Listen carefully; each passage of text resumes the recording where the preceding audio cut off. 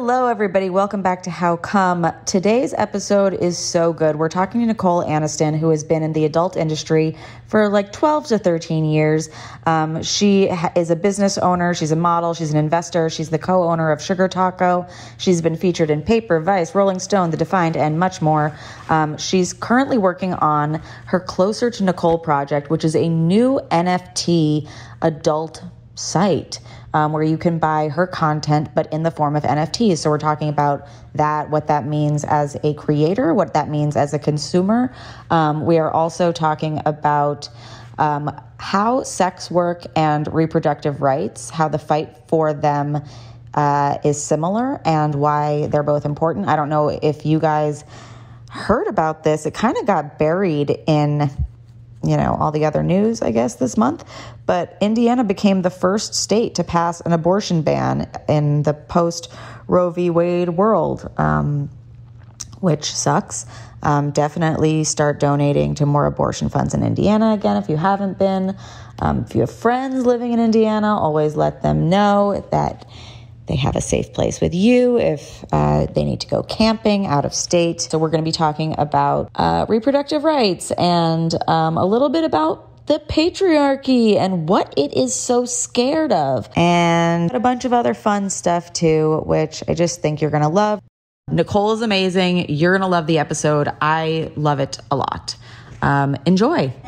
How come? How come? How come I can't achieve? How come I can't achieve? I'm rolling up my sleeves. I'm rolling up my sleeves. Oh baby, I believe these guests can help. Cause I can't do it by myself. I wanna just. So excited for today's guest. You guys, welcome Nicole Aniston. Thanks for having me. Of course. You have been in the adult industry for years and you just started your own project, which is called Closer to Nicole, where you sell NFTs that provide access to an exclusive community and new scenes. Can you tell us about that? What is an adult NFT? Like, how long have you been doing this? How did you think of it? Well, I think it's been about a solid two years since I had the idea. Mm-hmm. And I just kind of watched the the trajectory of like the way everything was going with OnlyFans and how frequently my own videos were so regularly stolen from OnlyFans and then posted up on a tube site and like, well, no wonder no one wants to get into porn. I always wondered about that. It's kind of a pain in the ass. Yeah. Like, Yeah. you know, they pay the monthly membership, then they steal a bunch of content, and Uh-huh. then they post it on Pornhub, and then they re- request uh, a refund or a char- like That's a chargeback. Wild. So, So it's and they're making sense. I, I'm sorry to cut you out. I just like I feel like It's this is so interesting because we've had a bunch of episodes about OnlyFans, and Yeah. people do ask that question. They're like, "What stops anybody from stealing that content?" And my answer has always been like, "Well, why would they want to do that?" Well, exactly. You know, if they paid for the thing and they're having like the personal relationship, why would they want to do that? You'd think so. Like the less frequently, like a lot, what a lot of girls have been doing is having a free OnlyFans and then they have to pay through direct message. And so it makes it less, I guess, incentivized for the purchaser of that video. For example, if that one video, they access the profile for free, but they Mhm. paid more than my monthly membership for one five to 10 minute video, they're not Mhm. going to want to, you know, put that, they're not going to be able to make their money up or recoup their money. But for my members, what I've done is, you know, have really easily accessible videos through direct message or on the on the timeline just for them to access because they've already paid a monthly fee. Mhm. They think that they're entitled to take that video and post it on like a tube site and make literally cents on the dollar per click. They're not Mm. making, you know, it's not comparable or reasonable what they're making. They're making like nothing. But anyway, I just was seeing this happen. I was seeing a lot of stuff come out in the industry. You know, after I took my breast implants out in 2019, I was hitting OnlyFans hard and it was so much fun. And had really no desire to go back to shooting for studios. And then in 2020, the great catalyst year, all kinds of stuff started happening. Like a lot of girls were coming forward and claiming that they had been victimized by these male predators Mm-hmm. um, that even I had known personally for years, and they they never approached me in that sense. But it was kind of a shock to see all you know these people get blasted for their predatory behavior. So I was thinking, what could, how could we do this in a way that we could um, not put the, a middleman between an explicit content creator and their goals in keeping their explicit material safe, you know, involving, you know, creating like an NFT type thing where the members, Mm-hmm. uh, you know, it just keeps the content a little bit more safe and um, keeps it just a little bit less freely accessible to those who don't need to be looking at explicit content. Mm-hmm. Um, so it's just there was there were just a few more blockades in the way. It's not it's not foolproof.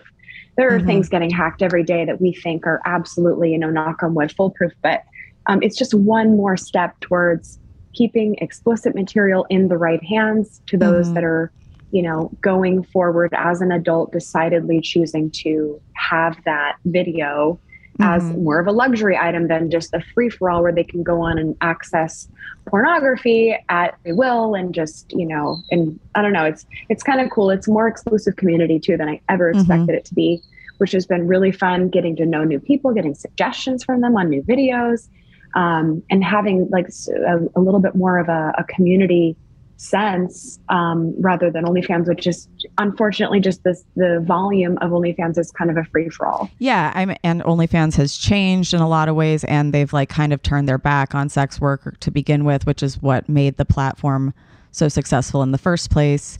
Um, do you still have an OnlyFans? I do. I still have Okay. OnlyFans and I'm still fully engaged in that. Members Mhm. are, you know, stoked with the amateur content. But as Mhm. far as producing um, high quality, professionally shot and edited stuff, that's only ever going to be on Closer to Nicole. There's no point in me showing up on a Mhm. set, spending 12 hours being someone else's product for a one time pay and never Mhm. seeing another dime of that. Whereas this is, you know, I'm choosing these scene partners. I'm paying for these scenes to be created. They're being Mhm. shot most, of, you know, in a location that I'm providing. So there, there, there's a lot more sanctity and and creative More safety in that as well. way more safety. It's my day, it's my production. Yeah, they are under my, you know, watch for the day Mhm. and nothing's going to happen in my home, you know, when when it's my camera guy I've known for 12 years and you know, so it's like there's there's a lot more creative control and there's a lot more um, safety involved. Everybody's got paperwork, everybody's got IDs. It's still, Mhm. you know, airtight in that legal way to where it's a respectable and a safe environment. There's nobody Mhm. dangling any carrots for anybody to Yeah. obtain anything. So Is it interesting coming from like now you're the one who has to make it the safe space? we always have like no matter what in the beginning of every scene, even if it's just, you know, shooting content with Mhm. just two people there, there's always a conversation. What do you like and what do you not like? You know, what what are your do's and don'ts? so Mhm. that I know as a as a person, as your partner, so that I don't cross your boundary or make you uncomfortable. I want you to feel really safe in my presence and for my production. I'm paying you to be here and I want you to enjoy yourself to the extent. Mhm. Um, I want you to be super comfortable and I don't want you to leave my my production for my Yeah. NFT project going, oh, it was shitty or I don't feel good about myself. So I just wanted to eliminate that, and this is a really good way to do it. If you're, you know, you people are already producing their own content on OnlyFans. A Mhm. lot of talent um, across the board have just pushed companies to the side because they don't need to do that anymore. They can produce their own content and make the same income and not have to go be someone else's, you know, puppet for the day. Totally. Um, which those are wonderful days. A lot of the crews I've had over the years have been phenomenal, just incredible, fun, super exciting work environments, Sure. and really pleasurable. And no no boundaries were crossed. But of the Mhm. very few days that I'm like, oh, I wouldn't do that again. I would trade Yeah. what I've been doing for my NFT project ten times over to avoid those little days where it's like somebody's two hours late Yeah. or Yeah. somebody feels violated or somebody's got a rash or you know hmm So or you just- see that the project is getting like pushed out again, but you're not seeing any more money for that because that wasn't in your initial contract. they'll revamp a scene 10 years later and then be like Mhm. remember when nicole was young and it's like thank you very much you know like, so it's just silly stuff like that like i don't i don't want to be somebody else's product and then never see another dime there's not Yeah. like residuals Yeah. You're you get your one time fee and then you're done and they can continue to crank out that scene years and Mhm. years and years. It never goes away. And Mhm. even the scenes for the companies, they get snagged and put on Pornhub. And then that sucks because if you want to keep your, you know, for example, if you're an influencer and you've never done explicit content, Mhm. but you want to venture into that for your fans are asking about it, you feel brave enough to want to, you know, maybe Yeah. choose that for yourself, create that content. There's going to be very few people that are going to see the incentive of having their very exclusive nudity or explicit material shared to no end on tube Mm. sites. And Mhm. they're just they're going to get constantly ripped off and then that that takes away from the exclusivity this is a way more Totally. exclusive like community style way to do this for someone especially who's never produced explicit material Yeah. And you were saying that it's not like a 100% guaranteed lockbox, which I think it's like nothing ever is if it's out on the internet or in the world, but it's an added layer. And it is I do yeah. think if you're going to be producing content, like you have to accept that somehow people that you didn't want this to see this might see it. Um, Yeah. And that sucks, but it, it's there's more ways to do it to protect yourself and make sure that at the end of the day you're getting paid for it. So your sure. site, we've kind of talked about NFTs a little bit, but I don't know if anybody truly understands. Would you do us the extreme honor of breaking down NFTs on How Cum? i can do my best um Okay. When i because my I thank god i have the most amazing tech team that Mhm. understands a lot of the little tiny details that Mhm. I, I still am learning to wrap my head around and they've really helped me learn a ton but it's um you know it's uh there are certain numbers of these in my particular project for example maybe it's a photo maybe it's a video but there's certain numbers of each one being produced and Mhm. if you you know you have that and it's yours you can resell it Mhm. um, or you can hang on to that and then that grants you access to a lot of other cool incentives as far as like our discord channel and things like that um, choosing details for scenes and partners for subsequent scenes followed up within the series Mhm. um, so there's a with the nfts it's kind of like a, a one of one like there's one of Yeah. these it's digital you have access to it you have a you know a, a way to access it where others can't access it and so that's kind of like your i guess non-fungible your little token that you Mhm. have that you can do with what you what you please and some are more valuable but i think what the interesting thing about the the paradigm is that it's reteaching value and Mhm. in a really subjective way i've had to learn to chill on what i don't think is of great value because i've seen things that I wouldn't quite want to own myself that have sold for seven hundred thousand dollars, and I Uh-huh. think it looks silly. I think it's a silly little digital thing. You can only look at your phone and see that and Mhm. enjoy that image or whatever it is or video. So I don't know. It's so subjective, and yet people are reshaping what they deem valuable with this, and there's a lot of like integrity in owning that thing and I don't know. There's a lot of other cool stuff that the way I, I- don't have the words. like I don't understand it as best I need to. The way that I've understood it, it's okay. So it's a non fungible token. So it's something that you can't hold fungibly. Uh, but there's only a few of them made in the world. The way that if like an artist makes a painting, they say like one of two, one of 200 or whatever, three of Yeah. 300. Um, those are the ones that exist. Um, then there are in the real world prints of those things where you can have a print of a starry night on your wall but people know that that's not real starry night that you don't own that starry night. And so if we go with the art metaphor even further some people have said it's like if you had the Mona Lisa and it belongs to the museum, but you can buy one of 500 parts of ownership to that Mona Lisa. She's going to stay mm-hmm. there. You cannot touch mm-hmm. her, but you own parts of her to let's say if she's to get sold to another museum or whatever. And the only thing that tells you that you own that Mona Lisa is that you have a serial number that's in a closet in the back where there's 500 other serial numbers who own the thing.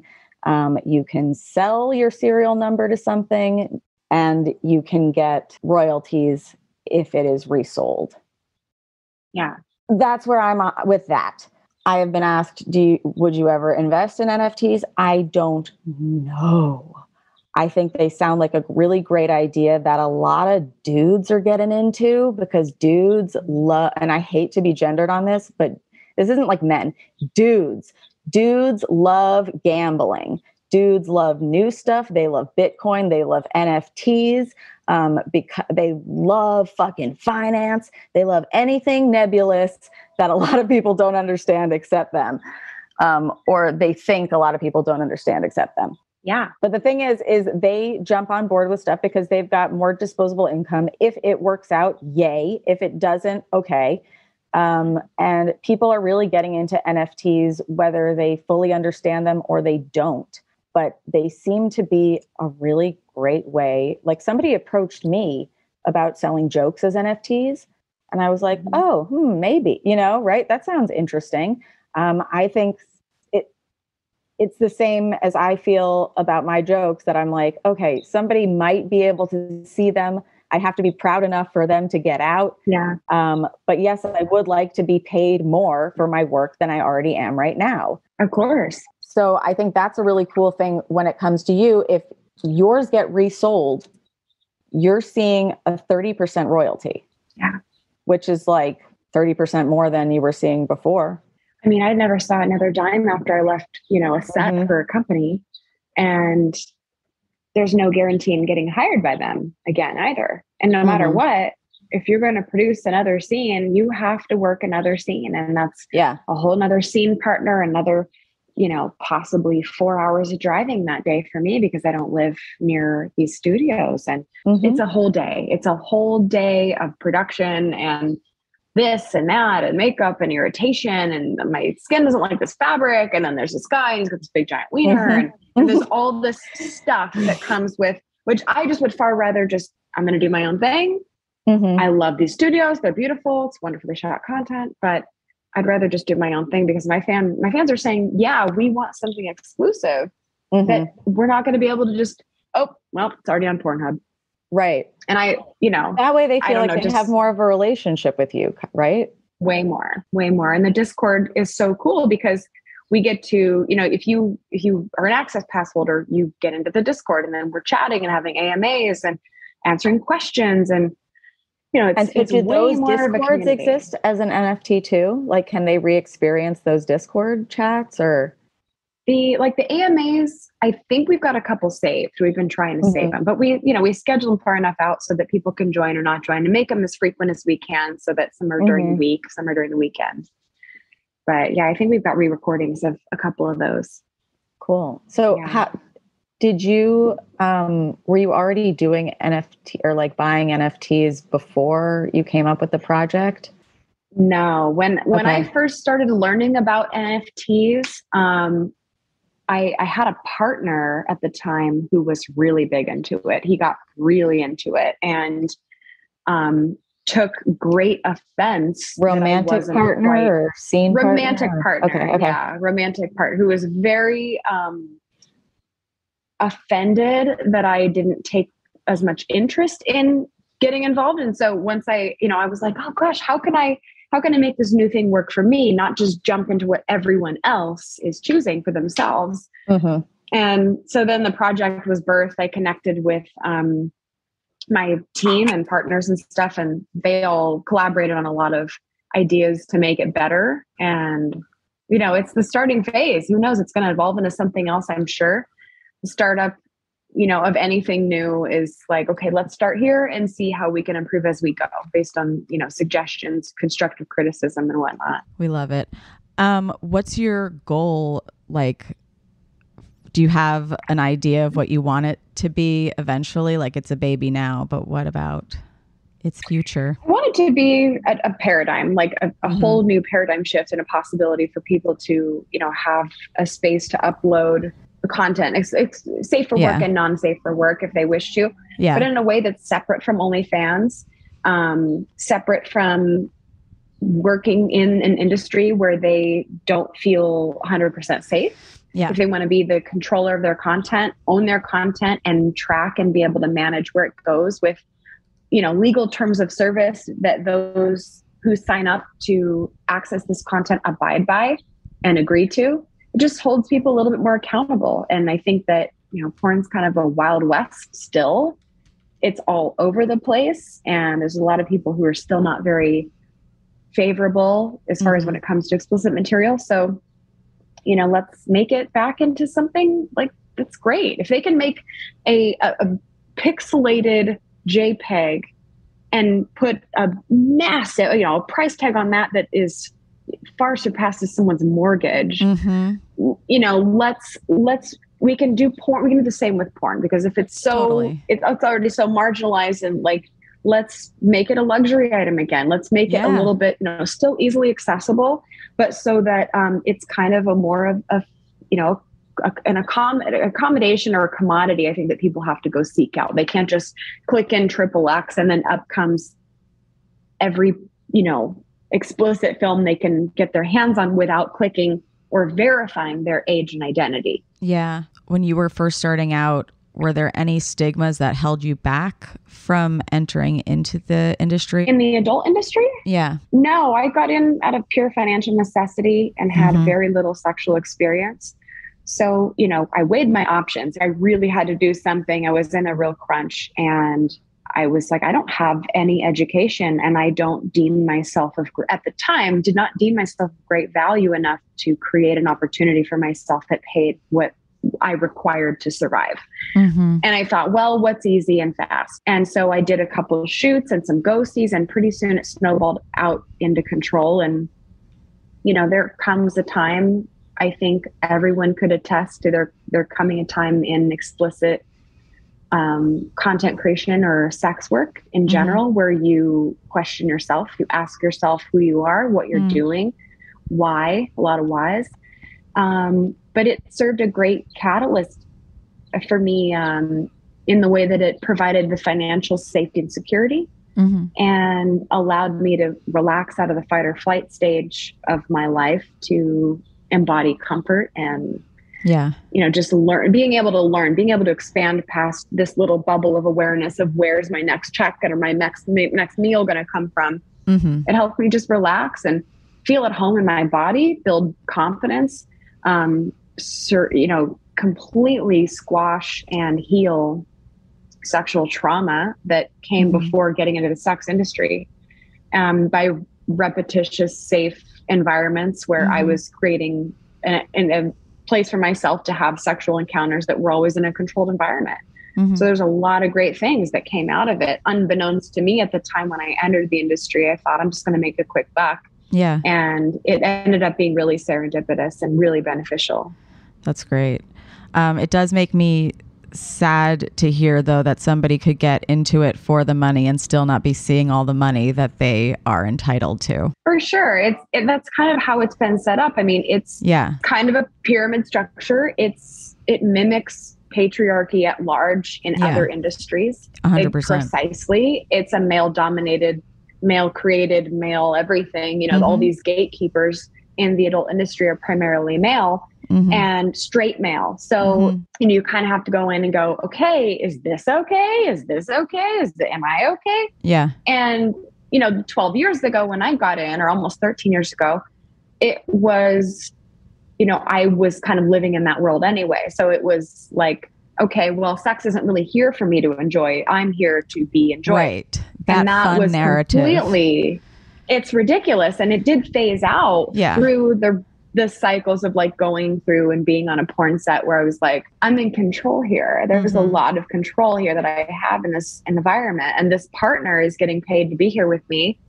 And I'm getting a check for this. And I don't know, it just ended up being unexpectedly safe, empowering, fun, hmm and um, allowed me to just kind of step out of my comfort zone of being um, just a treat and, Yeah, and just and totally. a treat for men to observe. It, Yeah. completely flipped my script on myself, my own self narrative, my relationship with other women. It was it was Mhm. really incredible. Do you now make more stuff that like you enjoy and that you would watch versus Yes. stuff that you'd had to create before? Yeah. Yeah. Yeah, definitely. I mean, I I wouldn't watch myself give a hand job. Mhm. Like never, you know, back when you first start out and you're just like, hey, will you come by to the studio and do a hand job scene? Like now I'm hiring the talent. These are people that I see and I'm like, whoa, that's I want to produce beautiful stuff with this person. Mhm. And I go with requests, of course, of my fans, but they'll usually just give me a genre. Like they're like, we want anal. You don't care who it's with, you know? yeah. So that's really great. But yeah, I am. Or who's giving it. Project. Who's giving it? They don't even really care. It's Mhm. great. So I get to choose who I want in my butt, and not who this studio back in the day would have paired me with. yeah. This giant, you know, guy who wouldn't allow me to have a pleasurable anal experience. Totally. So You could pick the It's toys. been great to- you could pick if you I were can wearing the strap and doing the anal. Yeah, it's all it's all my creative thing, and Yeah. it's, so it's been like, oh, oh, I will totally, I'll do this for like this will be the studio work that I'll do hmm um, until this this will snowball. It will catch on. It, I know that the first phase, of course, it will need some tweaking as we go along, Mm-hmm. but this this will become something that'll be easily utilizable for for everybody. And it's hard because look at a lot of people are sending me DMs on OnlyFans going, "How do I get? How do I? I don't know what to do." It's like go in the Discord channel. We've got instructions. We've got on how to start their own stuff. on how to well on how to get started in purchasing in the closer to Nicole. Oh, okay. But Would you ever become a hub through- for other people that wanted yes, to? Okay. That would be my initial. That was kind of like one of my core thoughts on it is to get it started with me because hmm I'm not in this to make a bazillion dollars. I'm in it to create something new. And when Yeah. you're looking for a paradigm shift, you have to start with like this base level, long, solid, flat foundation where Yeah. there's not a whole lot of building going up. But I know that this is a really good idea. And I know that there's other people that once they understand how, you know, the implications of what this means long term for their, they're keeping their content safe and Mhm. earning more money, they're going to jump on this. I don't think the crypto or the NFT space is going to go anywhere. I think it's going to be something just to build upon. hmm And the thing with the safety too is, um, I think I understood that you can see exactly what gets sold to everybody, right? It's like Yeah. verified, Yeah. better so than there's no going on definitely better Yeah. in that way um you know there's no I, it can go on to pornhub and there's a username you know Mhm. xyz123 who uploaded my video that i posted yesterday Mhm. and there's no real comparing or tracking or monitoring that person's username to their username as the subscriber on my OnlyFans to which, you know, who I can't find out who stole it. Mhm. There's this anonymity there that's kind of mysterious and, and so people have taken advantage. They're just trying to make a buck. I understand that Mhm. that's it's piracy and I know it's Totally. it's explicit material for some reason they deem it like, well, it's just porn. It's like I paid to create this. It's mine. It's my body. It's my I paid to create it. creation. It's my set. and it's me doing gross stuff. yeah. Yeah, yeah. And I know I've been a porn star for 13 years, but it's still, you know, you as a an male user cannot profit off of my explicit material. It's No. my body and I'm choosing to do these things. And unless I say, here's a video, share it, share it with the world, yeah. Take it to all the other men. I don't know. It's just I think that this new way to do things is as we start to, you know, pull these seams a little bit tighter as we go along and change things. I think it's really going to build something new, something far more secure for explicit material. Mm-hmm. And this isn't your first business either. Um, you're running several other businesses. What was the first one that you started? I think the the longest running one that I've been a, a partnership in is probably Sugar Taco. hmm um, the vegan women owned uh, plant based Mexican restaurant. There's two in LA and then the third one coming soon. Cool. Did you have any like fundraising challenges when you were starting these businesses? I got lucky um, hmm in really synchronistically connecting with the right partners who are very, very like minded in the ways that they see the ethics behind what I'm trying to explain and develop. And if I Mhm. have an idea for something, I've gotten really good connections over the years with um, other people, primarily men, because that's kind of who I have to approach um, for these ideas and say, look, I want to develop this. And they're like, Mhm. God, that's a really good idea. Okay, let's do that. And if not, then I just put my own money towards it. hmm You said earlier that uh, working in the industry changed your relationship with women. Can you describe what you mean by that? I um I had a weird relationship with I had like some I had female friends growing up and stuff like Mhm. that. Did not identify, did not understand my own sexuality for a really long time, and actually Mhm. had a a little bit of an intimidation and a fear with other women, and actually for a long time had very toxic female friendships and stuff like Mhm. that. And so it was it was kind of a really long process of learning through being sexual with other women Mhm. to get comfortable with my own femininity Mhm. as well as building better female bonds and better female relationships by just being with sexually with other women and being on set and being vulnerable with other women that was harder for me Yeah. than doing boy boy girl scenes with a Mhm. male talent that was it was harder for me to be with other women and to have that kind of openness in that way so and that i feel like that bled into a lot of creating healthier um, female relationships and friendships in my life That's cool.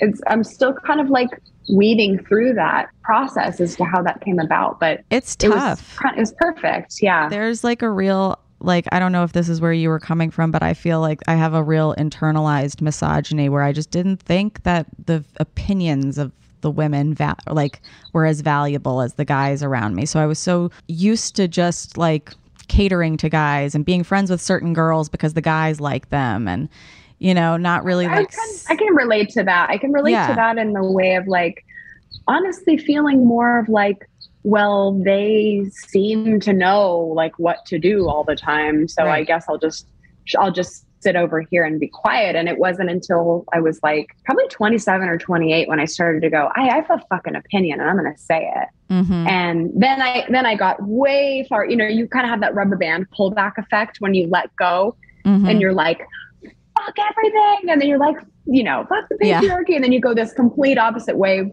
And then you become a man eater for a little while. And so that wasn't healthy either. Um, but, you know, I had to experience the contrast of both the perceived victimization of patriarchal tendencies over decision to my position and come reestablished as the, the true kind of, you know, confident um, leader mentality. So Yeah. I don't know. I needed to go like a little full warrior for a little while and then Mhm. really understand what it is to be truly empowered and uh, to find more sacred relationships with people of all genders. I think it's really interesting that the consumers of porn are primarily male, right? But then also the people shitting on people for having done porn are also Are male. primarily male. Yeah. I hate to do a man Haiti episode. It's not like there are tons of great guys. It just seems like this has been a wave that's been mounting and I um saw this tweet that was like the fight for sex work and the fight for reproductive rights are linked because they both support body autonomy and they both empower female bodied people. And it just seems like they keep going after stuff that empowers us. Why?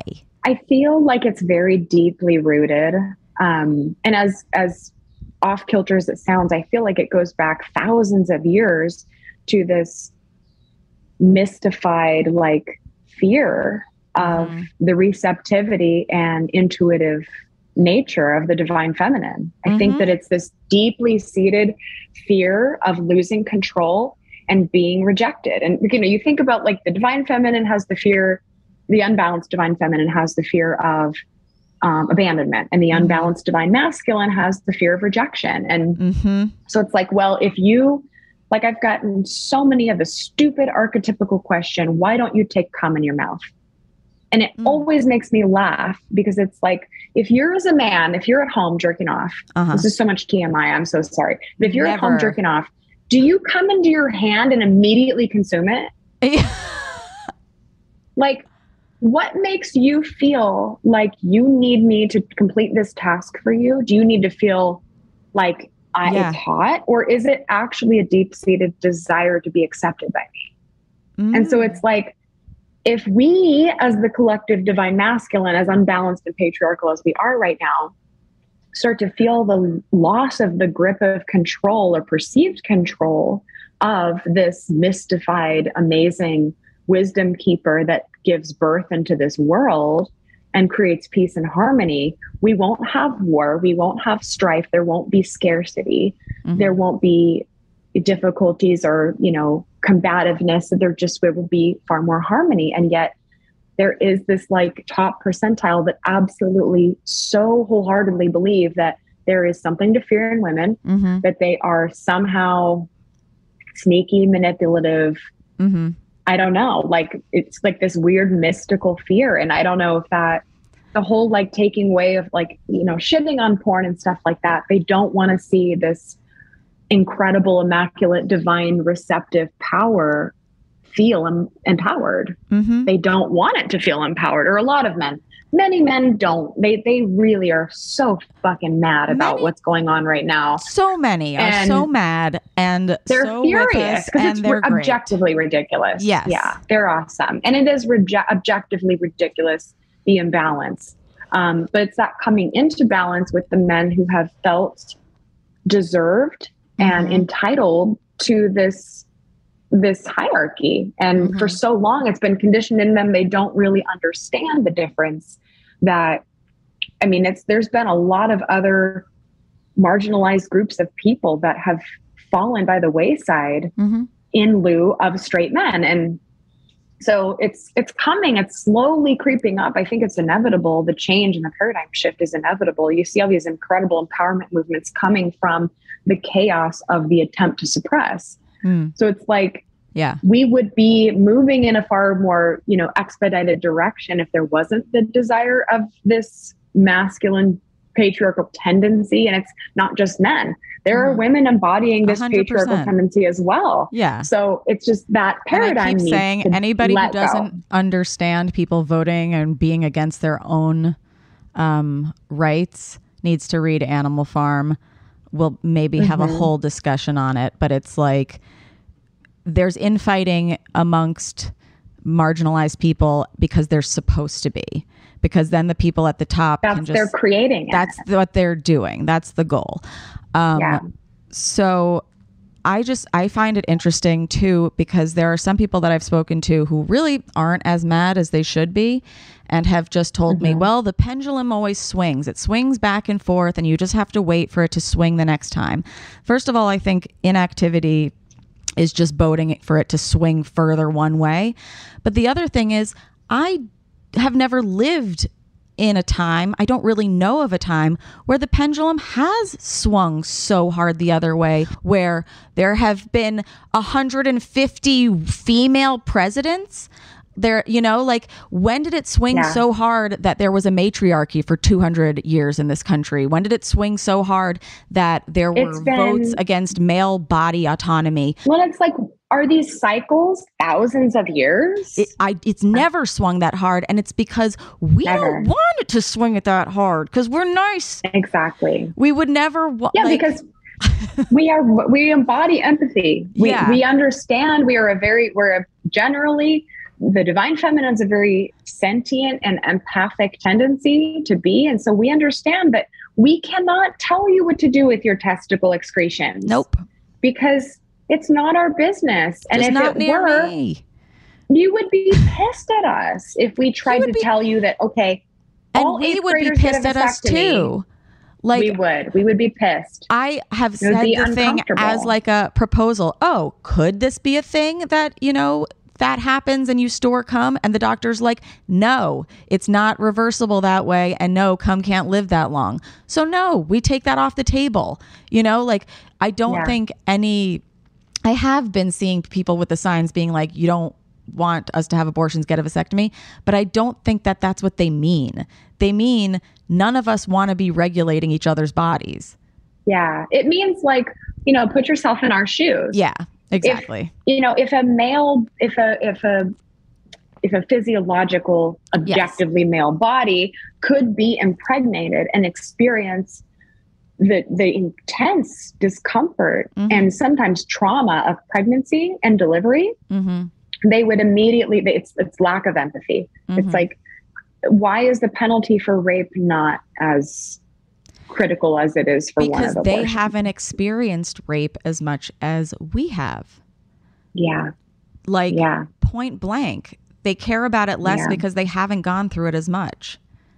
And with the lack of empathy they're they're not able to understand like and i think you know that pendulum swing's kind of a joke it's it doesn't it- otherwise we it would hits have a been able wall to and then it a swings back that society. way. Yeah. It's like yeah, a it's like oh it's a tether ball attached to a wall. It's not a pendulum. yeah and it's not gonna no matter what like we're at a phase like we have to go through these like solar cycles every 26,000 years where shit starts to hit the fan and we're right about at that precipice right now and i don't see a whole lot of lay down coming Mhm. like the, the everything feminine everything feminine is not going to just go okay whatever you want sir you know Mhm. even the earth herself is going fuck you get out. stop stop yeah, stop treating me like like an, a battered woman hmm stop treating me like a battered you know female partner. The Giving it's, just, Tree. it's ridiculous I know, the Giving I know. I have not but i've It's heard the it's a tearjerker so saddest book in the entire world, and it's just about Oh. a little boy who takes and takes and takes from this tree, and she's like, "You can use my branches to build a boat. You can use my." you oh know." yes i remember that now yeah, I and do. then she's just yeah. a stump, and she's like, "Well, use me, rest on me." And she was happy Yeah. because she could give to him. Like we want, we want everyone to be happy and good. And I think what's troubling for a lot of people in moving forward is that they've never seen that work before. They've never seen Yeah. a true equality in race, in gender, in sexuality. You know, like that's never been a Yeah. thing that we've experienced. So it seems something hard to aspire to. But like, it's been a long time of that like Yeah. hierarchical you know i'm up here as, because i'm part of this lineage or this family or this you know it's been that way for so many thousands of years. It's going to be a it's you know old habits die hard. Mhm. and we're right there where we're going to see another good decade or more of really harsh ugliness come to the surface because it has to. We can't all these you know all these long kept secrets and all this stuff has to come out and all Mhm. these truths have to rise up to the surface. And no matter what it's it is going to shift. It's just that trickle down effect right now that we're experiencing at the beginning stages where this four year old little boy Mhm. who is you know embodying this control system is having a tantrum when mommy caught him doing something he's not supposed to do and he's now not going to be allowed to do that anymore he's throwing his little four year old self to the ground and trying to guilt trip and negotiate and point fingers and try to you know all the little four year old tantrum thing it's very cute but it's not going to work and right. yeah Did you see? Um, I know though this wasn't supposed to be a political conversation, but it's always political.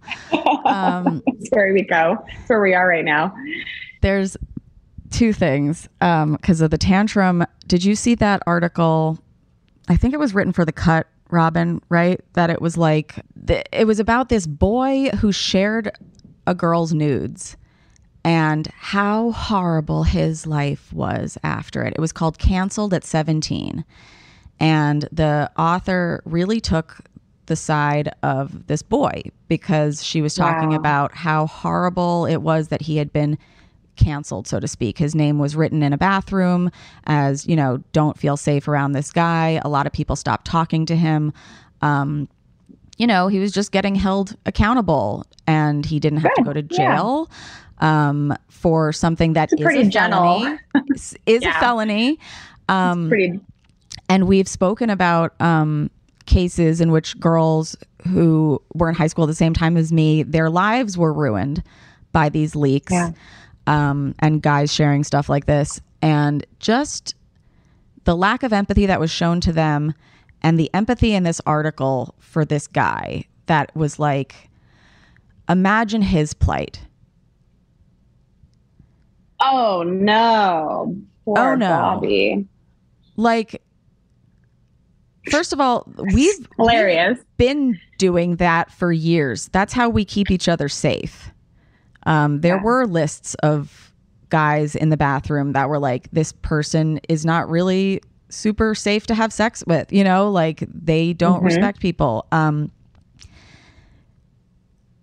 that's Yeah. there's nothing wrong about that. That's people No, keeping that's- themselves and others safe.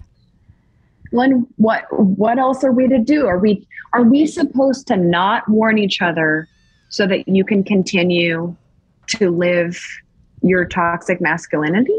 hmm So that you can continue to feel empowered by your sick choices that that victimize others? I, I mean. I don't care who you are. If you're Jesus, a bird hit the window. Whoa.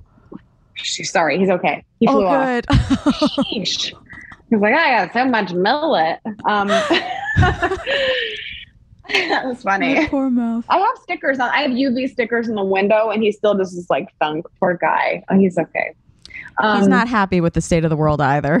No, he's unhappy about it. I mean, that's there's always going to be some sympathizer, hmm and it's always if it's a female written article, that's also another woman who cannot empathize with what it's like hmm to be bullied by Mhm. Either an ex partner or, I mean, especially in high school, I, I can attest to that, mm-hmm. having experienced a very toxic, dangerous relationship at 17. You feel in, entirely empower, empower, powerless, Powerless. at that time. Yeah. Completely powerless. And it is the most nauseating feeling in the world. You, I mean, it'll make you want to Yeah. not be here anymore. Yeah. So I always, I just, whenever those things come up, I'm always shocked because I'm like, where were you for these girls whose lives were destroyed? Where are you now for them? Um, and why is it, why are we so like inclined to be like, oh, don't make his ha- life hard, even a little hard. He can't have a, a hard life. Like the whole backlash to Me Too was like, him too. What if he gets called out for something that he didn't do? And it's like, this guy did do the thing. And Yeah. we're still trying to protect him and we're still trying to see his side. But he did do the thing. So it's like you can say whatever reason you did for doing that, but you will, in one way or another, if you can't criminally be held accountable by the law because you're a minor, you're going to be held accountable by your peers. Mhm. And what better way to do that? Because then eventually years will go by and you'll be so shattered by what your choice was. You will Mhm. never do that to another person again. You would never Mhm. share a person's intimate images again. Mhm. So in, in that case, he probably got the exact specific perfect karmic return for his choice. Yeah. It was perfect. He doesn't even go to jail. yeah. He's not suffering. He's having to deal with his choice. And, and in God the event that forbid- like he does learn something, hooray. Yeah. You know, he didn't have to go to jail and get traumatized that way. He just as Yeah. you said, it was probably the perfect accountability. There's a guy in the comedy community that um got called out. We have like a women's group where we write, you know, this guy did this to my friend or this guy did this to me and like people talk about it and we decided we're not talking to that guy anymore. We're not booking him anymore. If our boyfriends dap him, we tell them what's up. They stop.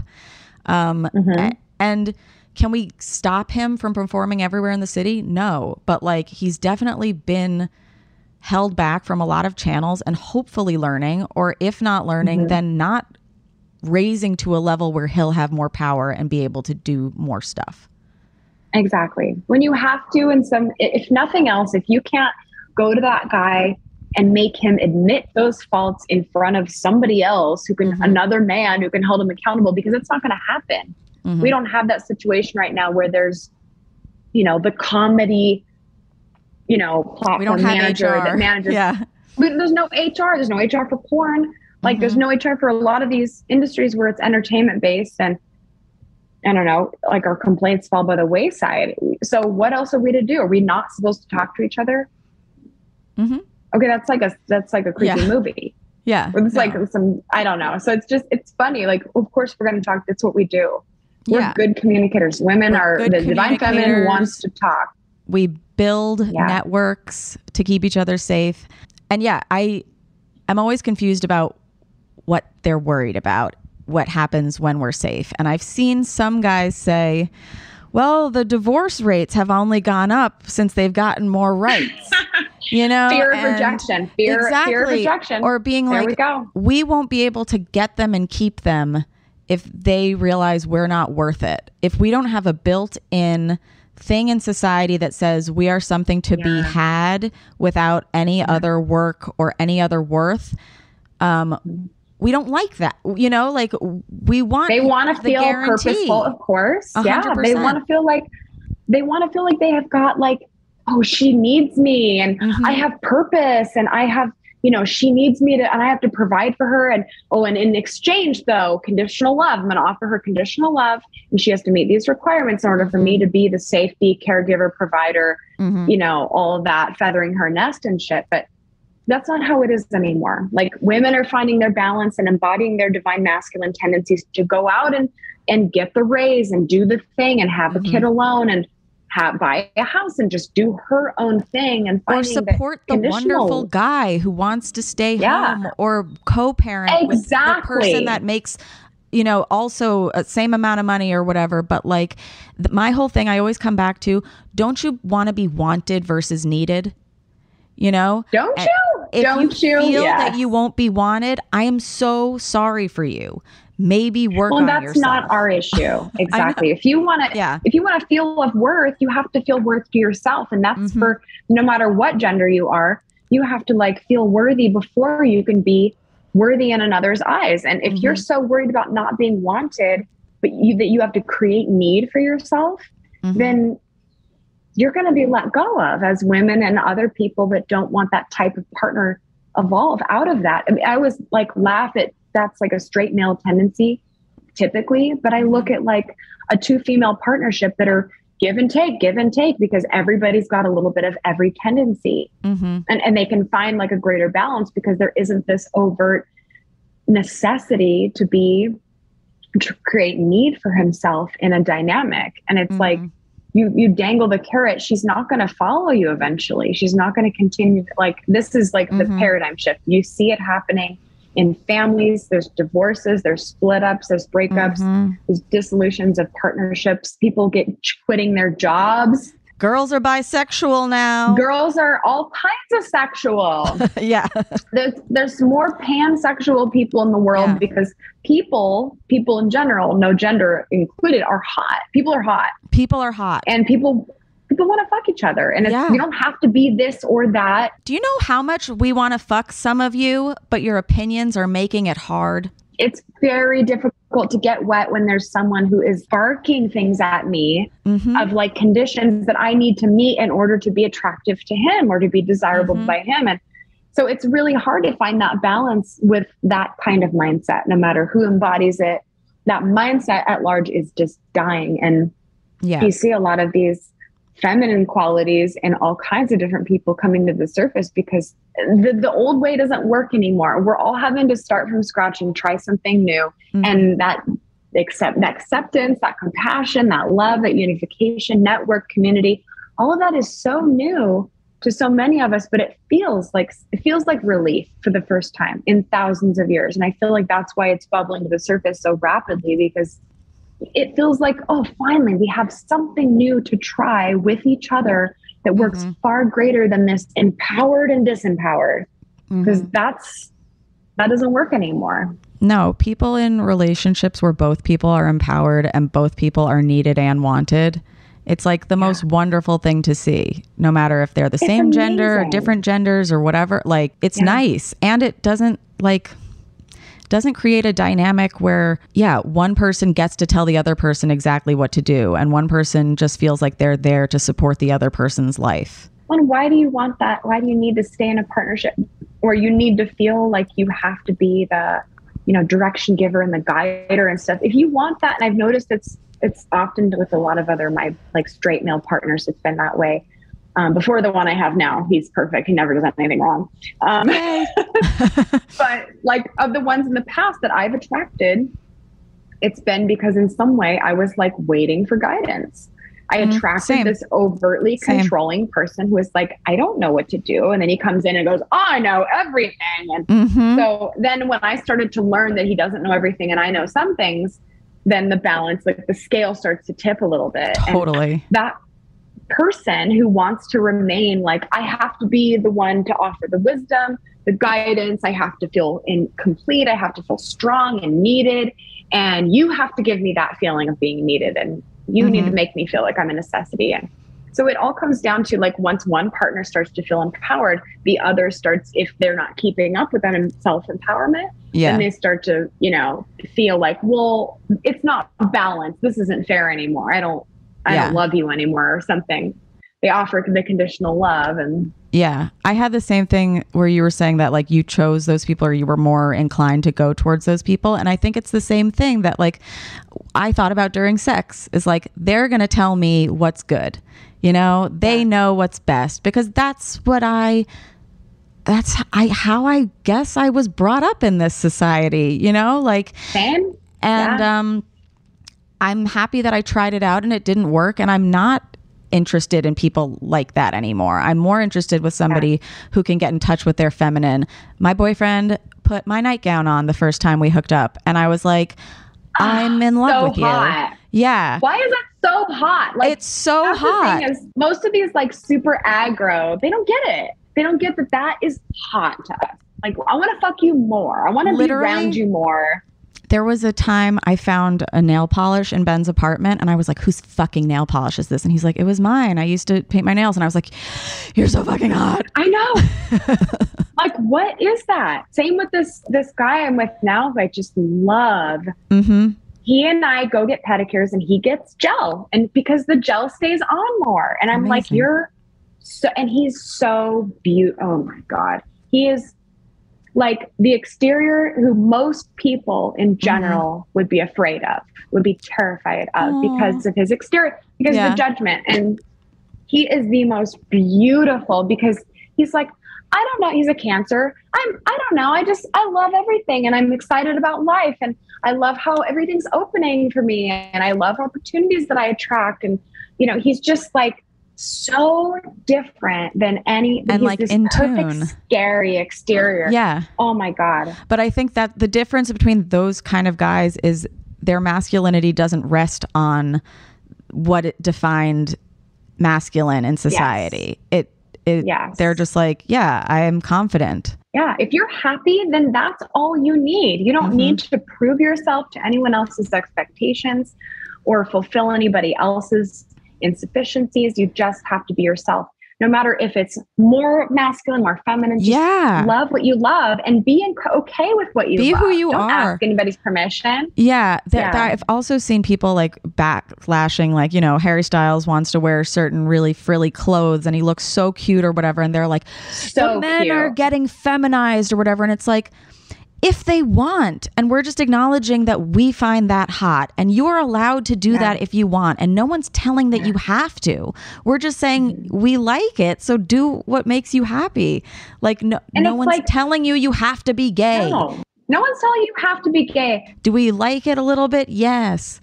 I would laugh at like the gay agenda. Like that Yeah. makes me laugh so hard. Yeah. because it's it what it is is it's not teaching you have a penis so you are a man or Yeah. you have a vagina so you absolutely are a woman and Yeah. lace and frills so you're looking at the textural condition of a strip of fabric or you're looking at a tone or color or Mhm. something by which our optical vision which is very very narrow our band of actual visible ultraviolet or Mhm. violet wavelength is super super narrow you're claiming that one shade on this spectrum of visible photonic light is too feminine so and you and defines who you are as a person. based on a based on lace Yeah. lace so a textured of fabric that is perforations in it and a scalloped edge that is unwanted you're Mhm. too gay for me you might Mhm. want to put your penis in my ass because you have a fabric with perforations and a scalloped edge like When they ask need to what not- is a not need to woman, reply lace. lace It's lace. lace and stockings and frills and bows, perfumes and powders and like. Like, do you know how many women don't like that shit? I like black. Yeah. I like leggings. I mean, some people do. I like a little bit sprinkled in here or there, but I like rocks. I like birds. I like Mhm. hiking. I like marijuana. Mm-hmm. I like I like psychedelics. I like I honestly I like wieners more than most men like their wieners. Hell yeah. Like there's just there's so many different like you can be who you are. You don't have to be like you know nobody has to look at you and think oh because he's wearing pink and he's wearing high heels that he's gay. Yeah. Like or he's like I've heard like I always laugh at I don't know if you guys watch The Office. Yeah. Yeah. But like the one time when Michael, like Oscar was outed in the office and Michael's Yes. telling Dwight, and Dwight says, Well, he's not dressed in women's clothes. hmm It's like, oh my God. That's how it is now. I um I was talking to somebody who was trying to make a trans joke to me and it was not pro trans it was like this guy goes to a doctor and the doctor's like Mr. Brown we have to talk about your labs and the guy says it's actually Mrs. Brown and he says oh sorry Mrs. Brown you have prostate cancer and I said is that the end of the joke is the joke that some chicks have dicks and balls because they literally still have dicks and balls and they said yes like, and a prostate, and a woman Yeah. can get prostate yes, cancer. Like, yes that's, that's like, that's so many friends. Like, yeah no one else thinks that's funny besides you and your friends who also think in that reductionist, like, sad, right myopic manner. Like, I'm sorry, you don't have any. You probably don't have any trans friends because you're really. well so this was like the thing out. they have told me before that they know this trans guy that they always call a girl who is a who pretends to be a guy and i said remember that guy and uh they were like yeah um i was like and this is a guy so i was like if you made out with that guy would that be a straight kiss Yeah. I said no And I love how they say. I love how they say pretends to be a guy. It's like right that's a that's a trans man. yeah You can just be can like, just oh well. say trans man if you're gonna go by your own rules of like short haircut, t-shirt, je- jeans, you know, Wranglers, whatever, belt, you know, if you're gonna go by those external rules, you see a, a short haircut, you see a person dressed in men's clothes, you can just say he, he or you can ask. What are your Yeah. pronouns? I'd like to address you properly. And Yeah. because a trans man or a trans woman will not be, generally, I don't think, will be offended by that if you wish to uh, address them properly. So you ask them, how do you prefer to be addressed? So that Mhm. you can establish, because maybe he says she, missus Mhm. you know, Mhm. maybe her name's Tracy, maybe her name's, know, whatever it is, but ask, like, I mean, like, she pretends to be a man. Well, she probably identifies as male. She identifies. Yeah. Like, she That's pretends. Yeah. She's a pseudo man. She doesn't have a penis though. Like, but I think I think the reason that I asked the follow-up question was because I think the reason why people are not inclined to validate others is because ha- of how it would af- reflect on them in a toxic mm. masculine way. If I were to validate Yeah. this person, what would that say about me? And to me, the, the says that you're a nice person and that you're like willing to learn about other people and like what they prefer to be yeah. called and spoken to. I could imagine if I was born with, I just happened to be born with a penis, but I have the body and the mentality, the face, the structure, you know, all the baseline stuff before I had cosmetic surgery done and breasts and stuff. I'd be like, well, I don't want to be raised in blue and play Mhm. baseball and be forced to play basketball and hang out with other boys and like and be forced to only have sex with a gender that is assigned Like- to me. Like, yeah i don't i'm i don't want that like i could imagine that must be like such a weird so i don't know whatever you've got down there is none of my business i'm not trying to have sex with that many people exact. That's the thing. It's your like, genitals aren't my business they're not my you- business. not my business Like- at all and that's what I get. Like, I had somebody tell me too that they were like, oh, well, every trans person that I know regrets bottom surgery. And I was like, whether that is true or not, the fact that people feel the need to get bottom surgery sometimes is because of people like you who won't believe that they are who they say they are until they fully change their body. And so Yeah.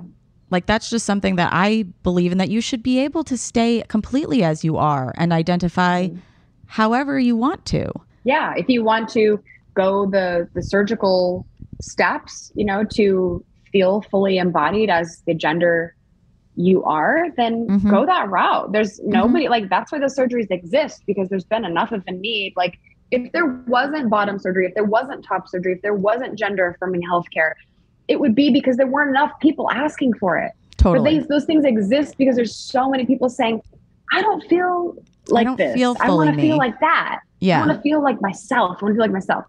And so it's only really like the only business like I've been called like, oh, she looks kind of, you know, because I work out and I've had phases where I've built Mhm. bulked up and shredded down. I've gotten really fit. And I've always had breast implants. And then I just took them out a couple of years ago. And it's been like, well, you look like, you know, you look more of like a man. And it's like, but is there shame in being a man? No. Well, no. Well, then I don't fear being called he by accident Right. If you think I look too masculine and you're, you know, I am accidentally misaddressed, there's no shame in being a man. So Mhm. I'm not going to, I'm just not going to correct you because Are you still I'm subscribed? Are you still attracted? it's usually with men. And so I don't know. It's just so funny the, the thoughts and like perceptions of stuff and like gender differences. Like, sure, there are some, but now it's not really so cut and dry. It's kind of more like this really long spectrum.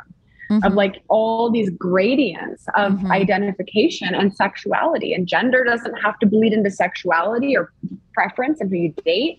Mhm. And people's genitals are not our business. And Yeah. unless you're like watching my porn and stuff, then you're looking at it and you know, I get that it's their business for a minute. But yeah. in general, in general, it's none of your business what I do with with my body or not do with my body. And I think that's just a hard thing to let go of because there's this deep seated fear of, well, if I was a man and suddenly I felt feminine and cut my dick off, then I would feel bad about it. So you're just right. you're just they're projecting they're your own usually fear. asking are you a guy so they can know can I be attracted to you without it being gay? Yeah. And it's like or are you a possibility or an opportunity for me? And it's like you need to Yeah. stop asking about people's genitals or like stop asking, have you had the surgery? Are you Mm-hmm. post-op? Like that is not your business. That is the business of that person who's in the body and whose partners they wish to have in sexual interaction. mhm. It's not your business. They're they're not gonna likely sleep with someone who asks them, What are you? Like what that. have Yeah, you had no. done? And yeah. that's not going to happen for you anyway. So you might as well just keep that question to yourself and respectfully address them as just a regular person. Totally. And people trying to defend themselves isn't being militant, and people calling out No. what's wrong isn't um, against your rights. Yeah. But um, I just wanted to read these things I found the other day because we were talking about like the evil that they are fr- afraid of with the divine feminine. And there um, is a pamphlet that was put out during suffrage called Household Hints.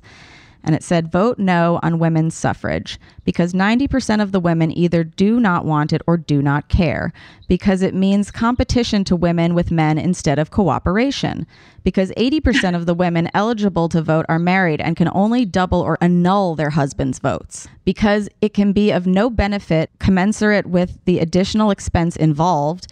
Because in some states, more voting women than voting men will place government under petticoat rule because it is unwise to risk the good we already have for the evil which may occur. Wow. What? It's fear. What are we going to do? Unbelievable. They're like, no, no, no, no, no. It's, No, it's no, too no. scary to let them have rights. It's just too scary. Let's just vote no. They don't care. They, this is not like men telling women that they don't care. This is men Mhm. telling other men that women don't care. mm-hmm. or didn't care. And whereas women were like, we're so programmed and indoctrinated with this male power situation. Like, Mm-hmm. I'm sorry, if at any point during our history we were having like male br- mail order male brides and male um, like arranged marriages where his family A had a, little dowry boy and, like, had to get sold to a lady for a farm. Yeah. Yeah. And Like- a guy who got married at 12 to a to a woman, to a princess who was in her 30s. None of us are queen who was cool in her with that. Like, no, nobody would be cool. Like this has been going on for such a long time that because it's it's been so fucking bad. And now Mhm. that it's slightly, you know, it's starting to really drastically improve, they're going, no, no, no, this is getting too out of control. It's too So wild. they have that unconscious or subconscious memory of when they were absolutely top of the heap and they thought they were. They thought they were, you know, the ultimate wisdom keepers and they have all this mm-hmm. knowledge and they're so superior. And that's just not that way anymore. There's people that are completely genderless that have far more intelligence and wisdom than mm-hmm. bureaucracy and you know diplomacy and compassion that can mm-hmm. make well-educated decisions but are marginalized by society and not allowed to climb the ladder to mm-hmm. even be within the same room as a group of straight white men making decisions for the rest of us yeah, I think it was um, Michelle Hope who we had on that we were talking about. She's like, the system's not broken; it's working for who it was made for. That's and exactly right. You know, yeah. that's that's what's going on, and we're just trying to make it equal for everybody. We don't want to swing yeah. that pendulum to the place where you guys are scared. That would never. No. We we would never want to inflict that on someone. Um, no, because then it I would see, be like it would be just it's would, hypocritical. We'd have a woman born in a in a or a young you know a, a female body born, and we'd be like, well, you're female, you're going to be like the rest of us. You're gonna. Right. You, you're gonna like all the stuff that, and if she no. identifies as male, then we're like, no, no, no, we got to squash that out of you. Like, yeah, that would never be a thing. we know. love trans boys. We love non-binary people. And I love to learn something new from someone who I will never be able to have full empathy for because I can't live through their experience. And if they can teach me something that's yeah. unique and incredible about them that makes them who they are, I want to hear about it. Like I want I want to include everybody. I want everybody yeah. to feel in their own rightness okay. And if everybody felt okay in their own rightness, there would not be a single argument. Nobody would need to try to prove their rightness. They just mm-hmm. could just be okay with being right and being different. Totally. Yeah, I think a lot, a lot of it comes from just being like, I don't get it. So that means that I have to change my whole worldview. And it's like, I've had those moments too where I've been like, oh my God, it's too much. And then I try to step back and I go, why? You know, like, yeah. what makes it too much? grow? Yeah, just I mean, that you have to learn another thing right this second. Like, okay. And that's okay. Like, yeah. wouldn't you, uh, you know, if suddenly as a man, if you started a new job and you were making more money doing different responsibilities, and yet you came back the next day or you came back Monday or something after the weekend, and everybody just, hey, Bobby, get back to work, and you they expect you to go do the job that you've done this entire time, mm-hmm. Even though you just got a raise and you just got a promotion to something a little bit better for you that you feel more empowered in. We still identify you in this role that you've and for so many years that we're just going to put you right back in that position. Robin, you're still an intern. Thank you. it's just it's just crazy. You can't limit anybody's expansion. You got to let people grow and be who they're going to be. And there's mm-hmm. no there's no growth in lack of diversity. And if you're like, worried that you're going to get left behind, it might be time for some growing pains. Honestly, the most difficult things I've ever put myself through have been when I didn't want to accept mm-hmm. a truth that was true for somebody else and had nothing to do with me. 100%. Like I put myself through this ridiculous suffering of thinking, well, I have to conform. It's like, no, no, no. You don't have to change anything about what you're doing. You just have to be compassionate. And if being compassionate, and you don't have to go through and know like just pronouns. You would do it anyway. Mm-hmm. Just let people have their have their autonomy, have their free will. You don't need mm-hmm. to control anything. And if you think that one of your decisions is going to help someone else by you deciding for them, take a look in the mirror and ask yourself, is am I really respecting their free will or am right. I projecting my beliefs about how they would best be happy onto them and making decision on their behalf? I think a lot of people just get jealous and they see people living their lives and being happy and they are jealous because they didn't get to grow up that way. And instead of being like, yeah. well, why don't I just live my truth and fuck more? They try to stop other people from having fun. Mm-hmm. Don't be that guy. It's like they don't want the stuff or the yeah. Just fuck more. Be yourself. Love what you choose. Yeah, Nicole, it has been so nice talking to you. Um, can you tell everybody Thanks. where they can find you and everything that you're working on? Atana Wellness um, CBD proprietary, closer to Nicole.com. Mm-hmm. OnlyFans um, is linked on my Twitter, which is X Nicole Aniston X. Look for the blue check mark. Don't talk to anybody who doesn't have a blue check mark. It's probably mm-hmm. a man mm-hmm. trying to take your money. Um, Instagram is at real Nicole Aniston, 3.6 million followers. Please look for the blue check mark as well. It's I don't have chat sites and all that. Like there's scammers Mhm. galore right now. So just keep your keep your card numbers Spam risk. Spam risk. Yeah. Thank you so much for having me though. Thank you so much for being here. I do have to ask you one more question, which we have to ask everybody after a sexual experience. Nicole, did you finish? I did. Okay, great. Thank you so much for coming. Thank you for having me. I appreciate it. of it. course. And we'll see you guys next time on How Cum. Goodbye. It's not you, it's me.